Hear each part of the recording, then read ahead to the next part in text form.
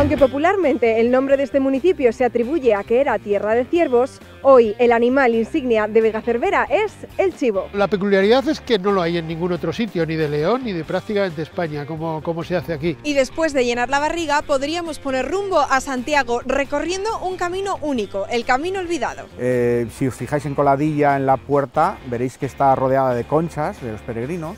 Ahora bien, si hay algo que destacar en este municipio es el enclave natural donde se encuentra, es la Reserva de la Biosfera de los Argüellos. Estamos en la cordillera cantábrica, en la montaña central leonesa, eh, uno de los lugares de mayor biodiversidad de, de, nuestro país. Un paraíso que a primera vista encontramos a nuestro alrededor, pero que si nos fijamos bien, también se encuentra bajo tierra. Dentro del mundo subterráneo hay muchas formaciones eh, de muchos tipos y se pueden clasificar por su composición y por su disposición. Hoy os invitamos a conocer el municipio de Vega Cervera.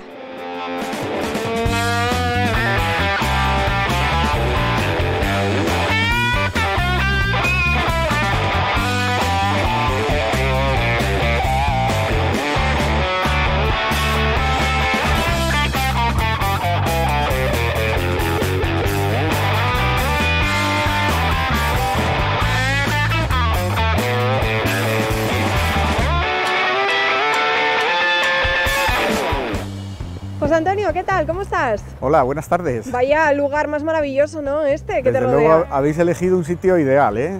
Porque, José Antonio, tú eres de aquí, de Vega Cervera, Yo soy de cerca, yo soy de un pueblo que se llama Santa Lucía. pero ¿pertenece al municipio o no? Pola de Gordón es otro ayuntamiento y este es el ayuntamiento de García. Pero bueno, somos vecinos, ¿eh? nos llevamos muy bien. Primos hermanos, Sí, como sí, quien sí, dice, ¿no? Sí, claro que sí. ¿Qué hace especial a este municipio de Vega Cervera? Tiene muchas cosas. Una de las cosas por las que yo estoy aquí es por el tema del Camino Olvidado. El Camino Olvidado es un camino que hemos recuperado y que pasa por, por Vega Cervera y también pasa por el Ayuntamiento de Pola de Gordón. Un camino que viene desde Bilbao y acaba en Villafranca del Bierzo y que tiene una cosa que es muy peculiar, es la montaña, ¿no? Tiene la montaña por testigo.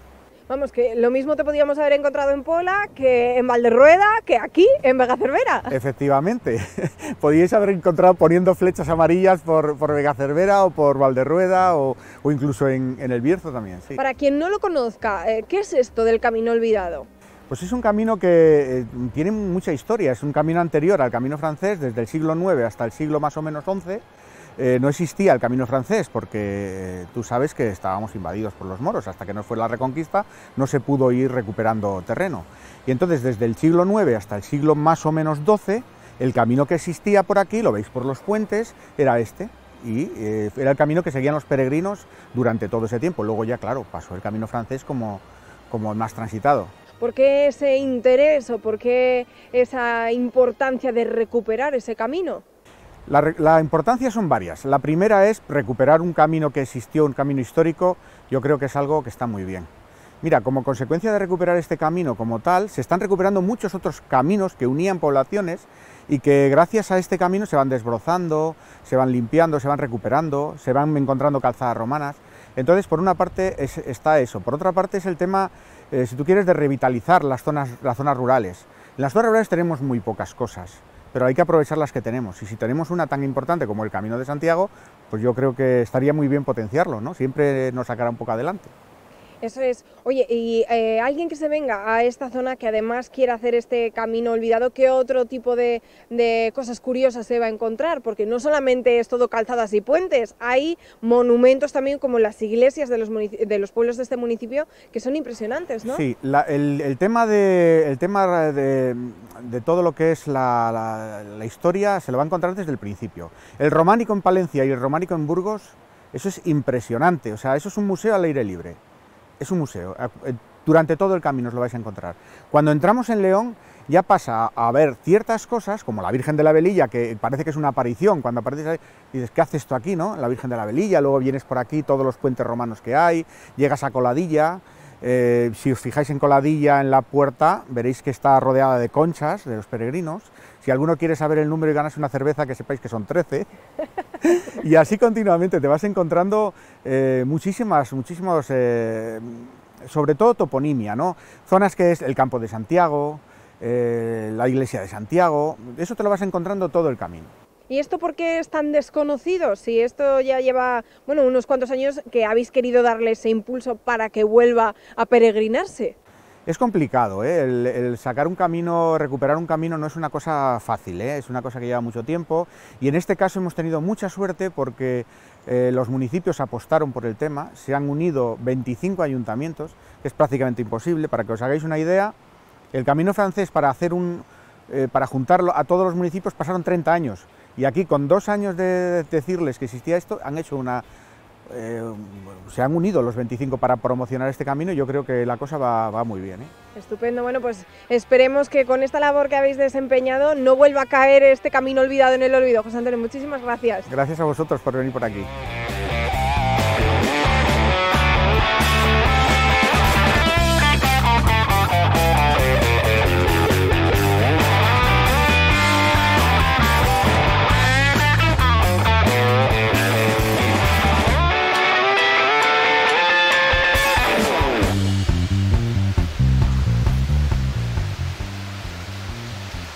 Jesús, ¿qué tal? ¿Cómo estás? Pues hombre. En plena oscuridad. En plena oscuridad. Un poco más y no te encontramos aquí. Pues sí, pero esto tiene magia. Esto hace magia, ¿no? Sí. Es algo especial lo que tiene esta sala de la cueva. Es el secreto de esta sala, la pues sala de pequeñas maravillas. Muéstranoslo, que estoy deseando. Se hizo la luz, qué pasada. Eh, dentro del mundo subterráneo hay muchas formaciones eh, de muchos tipos y se pueden clasificar por su composición y por su disposición. Las hay eh, pavimentales, las hay occipitales y las hay parietales. Y después químicos y orgánicos. Las estalagmitas y las estalactitas yo creo que es lo que más rápido todo el mundo asocia para una cueva, pero el mundo subterráneo es mucho más complejo. Es más complejo de lo que nosotros pensamos. Mm, no nos vamos a meter muy a fondo, lo principal ver que las formaciones superiores son las estalactitas, que las formaciones inferiores son las estalagmitas y cuando se unen ambas que recibe el nombre de columna estalagmítica. Y pues pasaríamos a otro tipo de formación, también muy común en las cuevas, que son las coladas, y que se forman a través de una, digamos, corriente mínima de agua que se precipita por un plano inclinado, muy rica en bicarbonato cálcico, este se va depositando y va generando una colada que esto es lo que nos da sensación como que se estuviera derritiendo la cueva, efectivamente, como si se estuviera derritiendo, como si fuera lava. Nos da sensación ahora mismo como que estuviéramos en un cuento de hadas y estuviésemos en el, en el centro de la Tierra, ¿no? en el corazón de la Tierra. Nunca mejor dicho, la famosa película del fondo, de Viaje al fondo de la Tierra, que por cierto se grabó aquí. ¿Ah, sí? Parte de esa película se grabó aquí.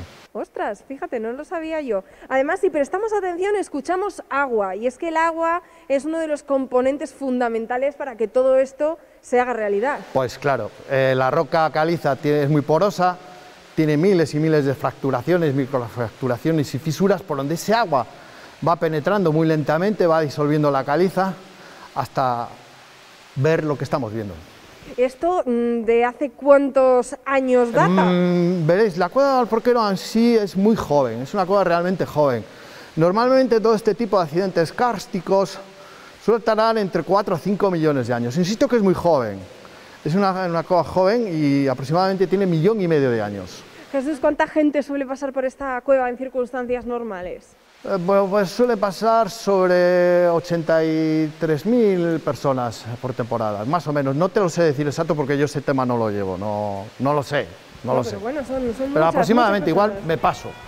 Hoy hemos tenido la suerte de pillarte bastante en solitario y disfrutar de este escenario, así que muchísimas gracias. A vosotros y recordar, merece la pena ver la cueva del porquero.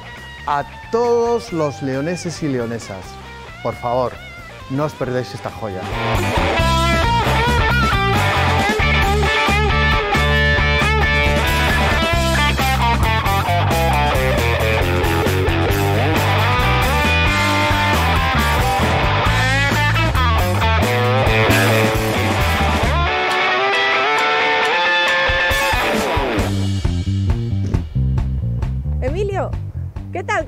Buenas tardes.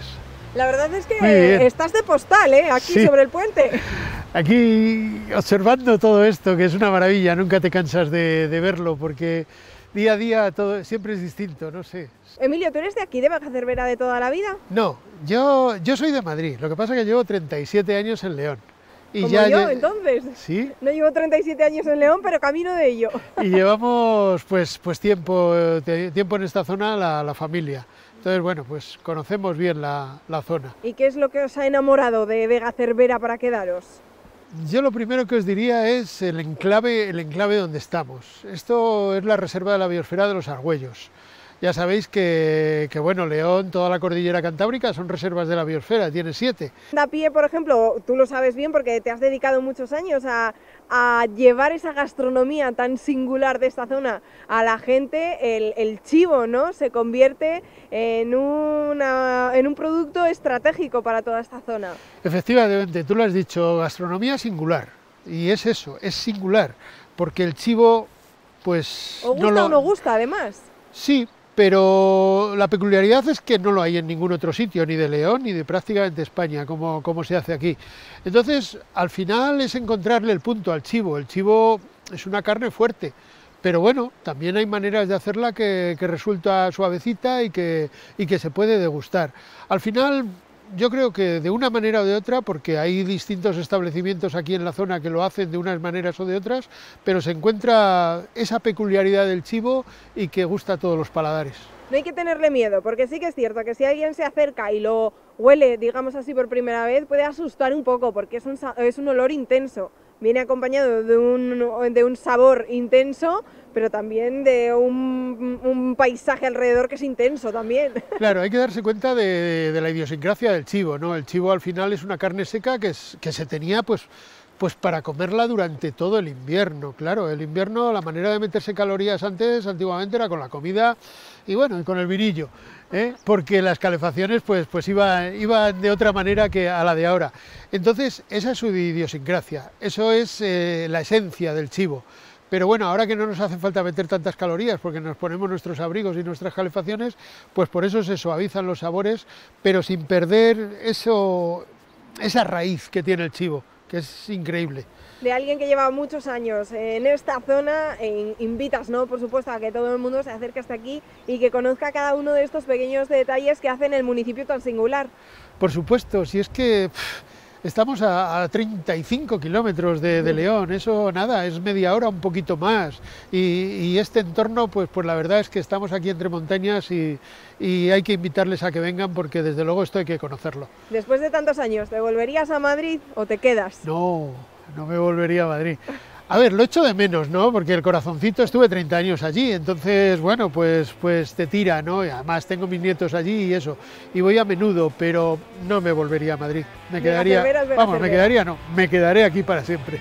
Estupendo, Emilio. Muchísimas gracias. Gracias a vosotros. Que vaya bien. Chao.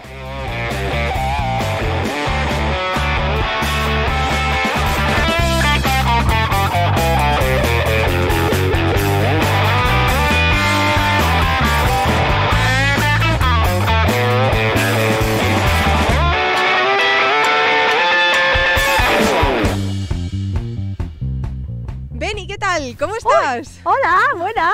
Nos ha costado un poquito llegar hasta aquí, pero te tengo que decir que hemos disfrutado muchísimo el paisaje. Bueno, no me extraña, eh, es uno de los otoños más increíbles de estos últimos años porque está lloviendo mucho, no hay bajas temperaturas, con lo cual la otoñada este año es espectacular. De hecho, yo estaba eh, haciendo fotografías y admirando un poquito el paisaje. Bueno, eh, tienen que saber que, claro, todo el mundo asocia Vega Cervera con, digamos, las hoces, ¿no? Que es uno de los atractivos naturales, yo creo, por antonomasia de este municipio. Pero en esta zona tenemos mucho más, como es esta reserva de la biosfera. Claro, eh, Vega Cervera forma parte de la Reserva de la Biosfera de los Argüellos, junto con el Ayuntamiento de Cármenes y de Valdelugueros.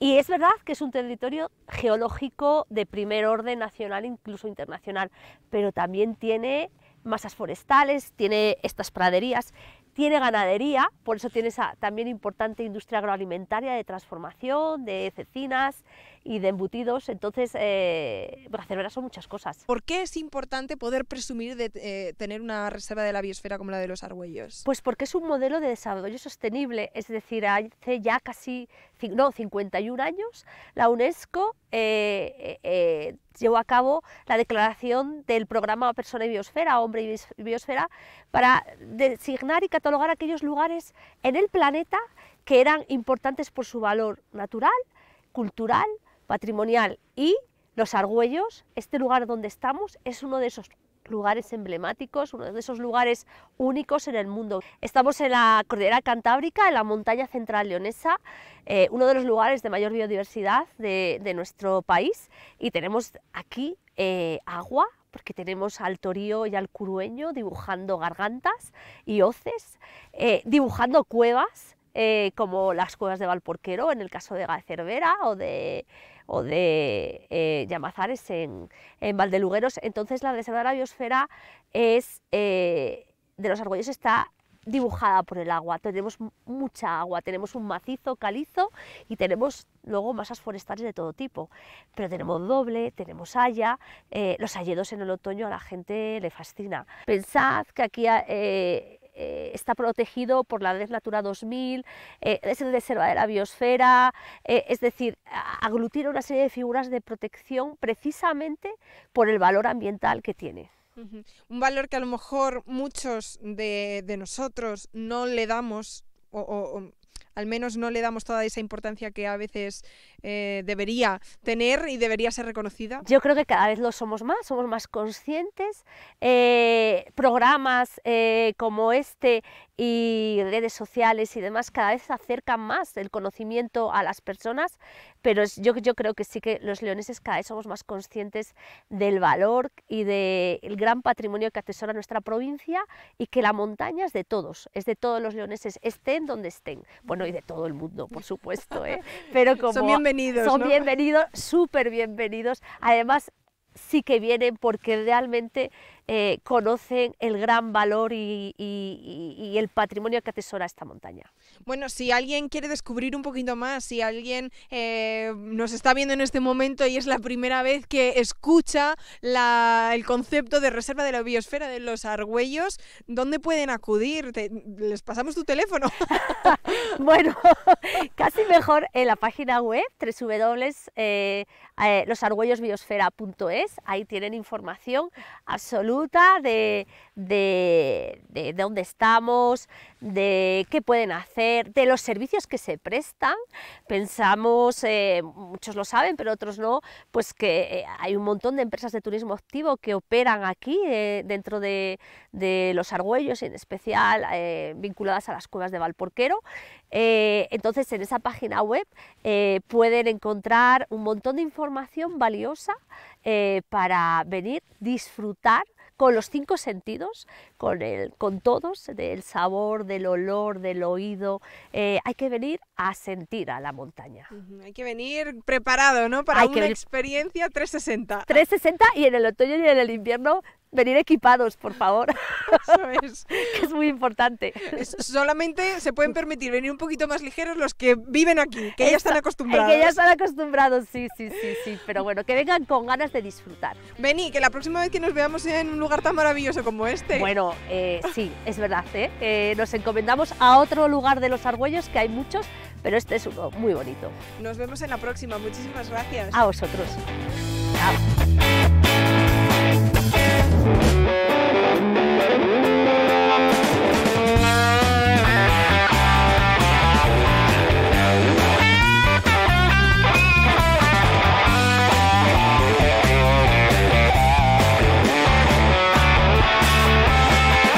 La cabeza de partido y había de todo.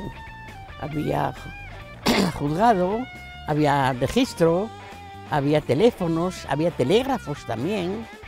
Aquí a este pozo, pues me imagino que antes vendrían a pescar los que no eran de aquí mil veces en el, tren de la FEBE, que se venía. Está la estación ahí, vendría la gente, como venían los ferroviarios, que era un gremio también con muchos pescadores, cogerían sus truchas y para León Capital a venderlas, ¿eh? así de veces. Tenemos el límite entre la cordillera cantábrica, la vertiente sur de la cordillera cantábrica, lo que llamamos montaña leonesa, y aquí vemos la montaña central, y luego ya tenemos lo que sería pues, el piedemonte de la cordillera cantábrica, que sería la meseta.